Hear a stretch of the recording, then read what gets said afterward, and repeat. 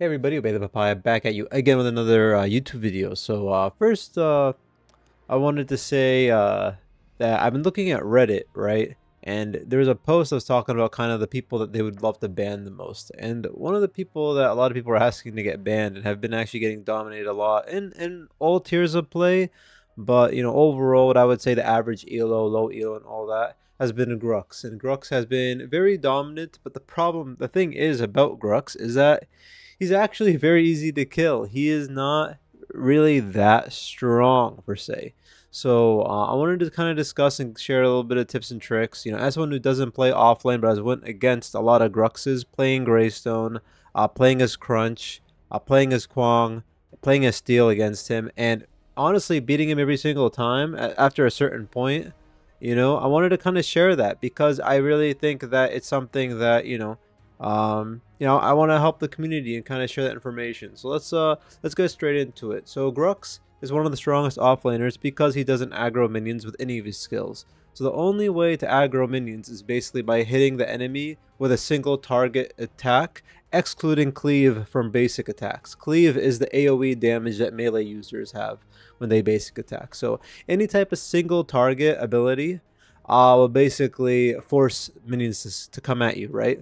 And in Grux in 1v1 situations in the lane, he basically has the ability to pull you, knock you up, and then throw a bleed onto you and have uh, then do a RMB and apply like, you know, five, six stacks of bleed onto you, right? Before you're even able to do anything. You know, that's the issue that a lot of low elo players are doing. So how do you how do you counter someone who's able to push so hard in lane, right? Early game, right? Very uh big emphasis on early game. And you know, how do you play against that? So um, you gotta wait. He falls off on all offlaners at level 6. Yes, he gets a stun, he gets a bonus in attack speed, but when he does something, he has to use almost his entire kit. It's very rare in low elo for a Grux to walk at you, and if he does walk at you, majority of offlaners have gap closes, they have escapes, they can just walk away from him. So you just have to wait until level 6, especially a lot of these people that we're going to talk about level 6, they're very strong level 6, right? Oh, oh, you know, we'll discuss that. But, um, so you gotta wait. Play for XP. Farm for XP. It's okay if he has 20, 30 CS on you. Don't give him CS and kills. Just give him CS. Just give him CS. As long as your level is basically almost on par with him, you're doing a phenomenal job against the Grux. Alright, so that's it. Don't let him snowball. That's that's the first tip. Um, he's similar to Khaimera. I know because Khaimera is a really big popular person right now, right? And, and low elo and dom and, and high elo dominating. Um, but he's similar to Khaimera, and his kit takes time to ramp up, especially once you get Bonesaw. Even if you go Sky Splitter build, you know, it takes a while for him to start stacking stuff, getting HP. You know, he does really well when there's more people, but, you know, it takes time for him to really start to scale literally in the middle of a fight, like right when the fight starts. So the goal is to just CC him. I know, it sounds easy. Just CC him. There's a lot of CCs, and hey, it's not it's not it's your fault if you're not playing someone or play or you know if you're in the offlane having trouble with him uh, even as a jungler it's your fault in reality if you're not picking a cc person. That means that you're not playing towards the meta towards the most efficient strategy. So you you have no right to complain if you aren't even trying to counter one of the most popular picks in the game right now, especially in average elos, all elos, which is Grux. So you have no reason to complain if you're not playing a character that's going to be used to counter someone who has like a, I think a 60% pick rate, 50% pick rate, right? I think we can see it here. Um, overview. Don't think, uh, here, yeah, 55% pick rate. That means you need to be playing for him, you know? Like, uh, that prepared that the enemy picks him. Um, so due to its mostly bruiser build, lots of HP and not as much tank armor, a carry building demo and sky splitter are going to melt him. And that is very, very true. You will melt anybody's gonna melt Grux as long as he's not he doesn't get far ahead. It's simple as that. Uh, and you're going to have games when people aren't going to play properly. It's understandable. It's something that we unfortunately have to deal with. But it does not mean it, a game isn't carryable when you try to pick characters that can kind of beat him in lane, you know, and so on. So let's discuss the items right now, right? Uh, Razorback is a for the people that are against him. Razorback, really strong item. Um, overall, especially with the the heavy ADC meta. Now you got Grim. Sparrow has a high win rate and low elo, uh, average elo. You know, so Razorback is a really good item because it gives you mitigation and it, re- it re- give, reapplies the damage to your enemy like 15%. Very strong item. It gives you more bonuses. It's very good. Uh, you got to use it when you engage a fight. When you see, you know, when you see Grux starting, basically when he ults, you know, you want to basically use it at that point, right? Because the thing is, it doesn't give you HP. So if you're at a 1 HP, don't use it. If you're at full HP, if you're half HP and he's starting the fight, that's when you want to use it and start punishing him. Tainted Guard, it stops his healing, you know, a bit. Uh, it applies a bleed onto him. It has really good armor stats. It's a very phenomenal item and it helps the entire game. A, it's a very important item in general to go Tainted Guard. Um, Sky Splitter and Demo, that's for the carries. I know Grux has been going Sky Splitter, which is really troll and benefits the carry and anyone uh, as the game progresses. He's going to do a lot of damage, but that makes him so much squishier when he goes Sky Splitter, when a Grux goes Sky Splitter. But Sky Splitter and Demo, they're going to be very dominant. That's, you know, that's what's uh the ADC is going to basically do to completely uh, destroy him, right? Um, Frosted Lure, really good for tanks, really good for people like Steel, right? While you're doing damage, this thing's just going to apply damage um, while you're just next to them. Um, I believe it's true damage as well. So it's, it's, it's, a very good item. Gives you armor, gives you HP. Um, Fire Blossom, AoE damage while you're fighting him. Very strong item. Uh, Frost Guard isn't built as often, but it's something I like to add in, especially when you got a lot of attack speed heavy people. Frost Guard is very slept on, in my opinion. Uh, I highly recommend uh, Frostguard. Uh, you know, when you do have people that are heavy on attack speed, especially Grux, who scales up in attack speed with, with Stifle, every second you're gonna low, or every second that the enemy is next to you, they're gonna lower their attack speed. So this technically is a direct counter to Grux, uh, and it, it's a it's a very nice item, good stats as well. Um, for most tanks to build into. So let's discuss uh, Crunch, right? Let's discuss the overall offlaners right now and kind of talk how, how you would play against a Grux. Crunch is really weak into Grux until level 6. At level 6, and once he gets first item, whether it be Augmentation, Mutilator, whatever you want to build on him, really. Level 6, Crunch is going to be very weak against Grux. You're playing for levels. That's it. Once you're level 6, you better be telling your jungler, come to this lane every single time if you just want an assist. Because you should be able to absolutely dominate a Grux at this point you know. And if you can't dominate him, you're able to farm and then you're able to escape because you're gonna have a gap closer, and on top of that, your ultimate's gonna be a gap closer. You know, and if you go mutilator route on him, you're gonna do a ton of damage uh, by taking his HP. Right? He's probably gonna get a little tanky, or Grux is gonna get tanky. You're gonna take some HP from him. Um. All right, then next is Feng Mao. So Feng Mao is gonna get a little bit beat up. Um, by Grux early. It's going to be kind of a skill match. If you're a very good Feng Mao, but we're going to talk about pretty much balance matches.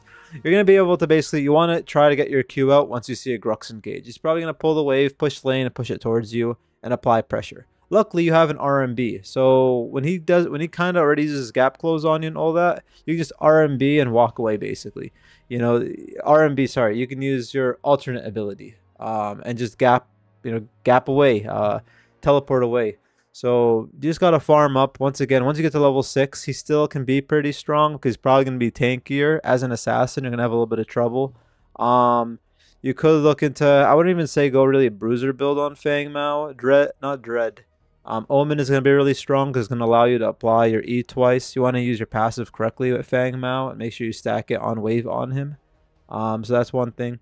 Uh, Greystone. Greystone, ridiculously strong against him after level 6. Very weak before level 6. But you're given an escape. Use your Q, farm up. Once your Q is over, sit back, let Grux take over. Uh, Grux will probably take over while you're queuing the wave, to be honest with you. But just try to last hit. Once you're level 6, you can start fighting him. Level 6 Greystone, you could take usually any crest that Greystone tends to take. You could take Razorback. Um, you could take Ice Icecorn if you want to fight, but he's going to still be relatively dominant even after level 6.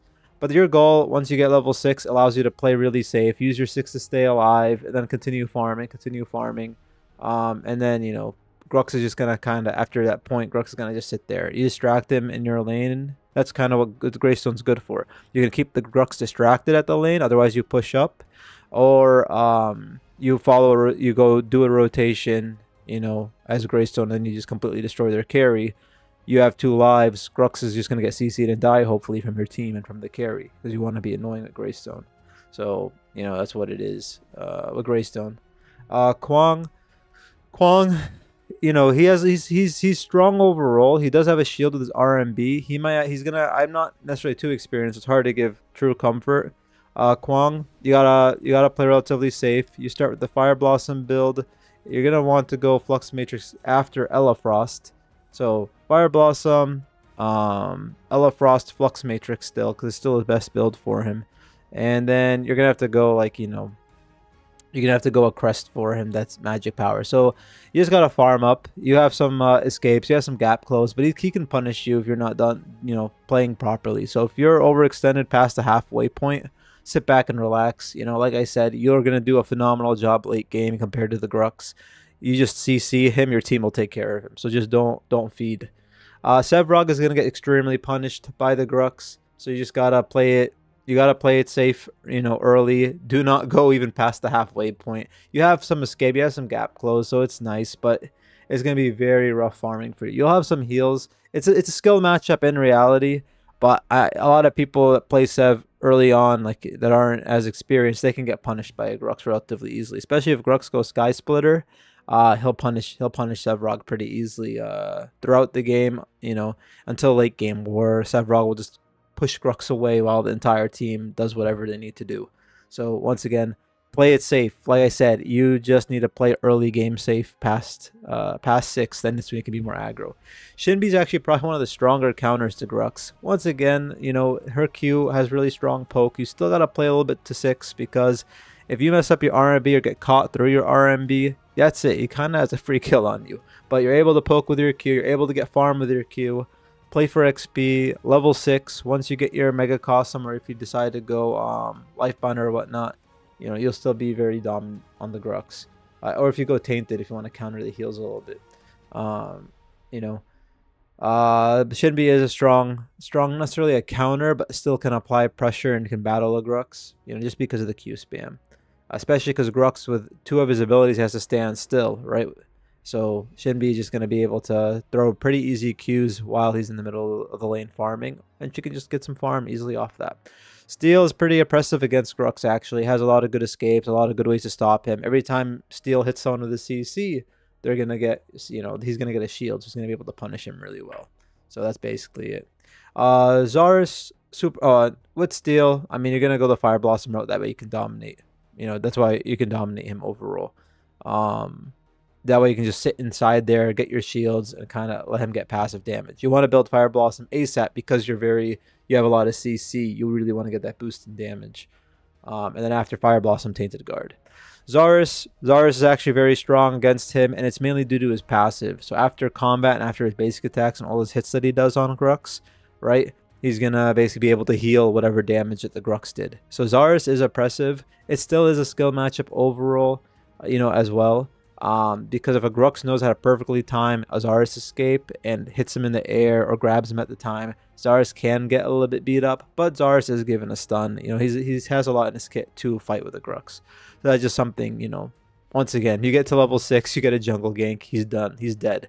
Grux doesn't really have an escape, he falls off really hard after level 6 in, in, in everything you know, and it's something that I see a lot of low elo players fail to do. They keep inting and inting and inting before you know before they get their main power spike that's going to counter him. But I want to make this video, like I said, because I see a lot of people losing, you know, talking about how Grux is so overpowered when he really isn't. He's really, in theory, you know, he's he's he's subpar. He's normal. He's just a regular character. He has a strong early game and he kind of falls off after that. There's better characters that provide more utility and more damage. Kind of that's better. Grux can have some plays. It's not that he's terrible. It's that people are really kind of overdoing his kit. Oh, it's so strong. It, it really isn't. It really isn't. But uh, yeah, so let me know what you guys think of this video. If I missed anything, if I felt like I didn't explain anything enough, or this video was a waste of time, let me know so I can get an idea of things uh, you know that you guys do want to hear, that you are interested in. If you did, don't forget to leave a like and subscribe if you haven't, as it helps me out and motivates me.